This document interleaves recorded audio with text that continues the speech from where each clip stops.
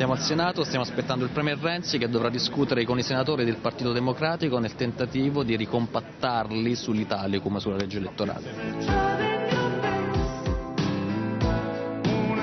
Ma per Matteo Renzi e per la minoranza PD non c'è solo la resa dei conti sull'Italicum. La volontà del Premier è quella di andare spediti anche sulla riforma costituzionale, prima dell'elezione del nuovo Presidente della Repubblica. Come se non bastasse il braccio di ferro con i senatori democratici sulle liste bloccate che ha impantanato la discussione a Palazzo Madama, c'è anche l'affair Cofferati che ha lasciato il PD dopo aver denunciato brogli nelle primarie in Liguria, facendo rialzare i venti di scissione. Ma la maggioranza del PD, i renziani, cosa ne pensano? È giusto riflettere su quello che è avvenuto, pur eh, dicendo con chiarezza che si tratta di un errore, perché credo che Sergio Cofferati doveva e deve ancora, sperando che possa rifletterci, eh, continuare.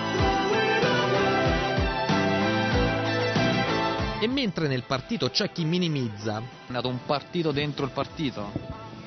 Non ho queste notizie.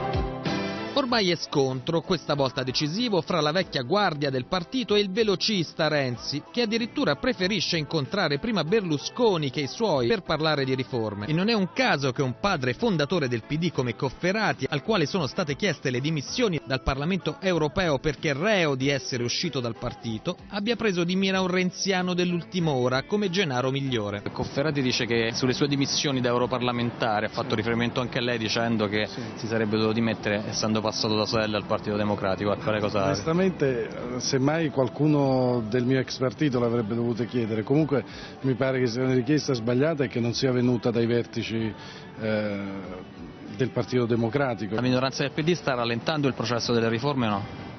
Per ora non mi pare.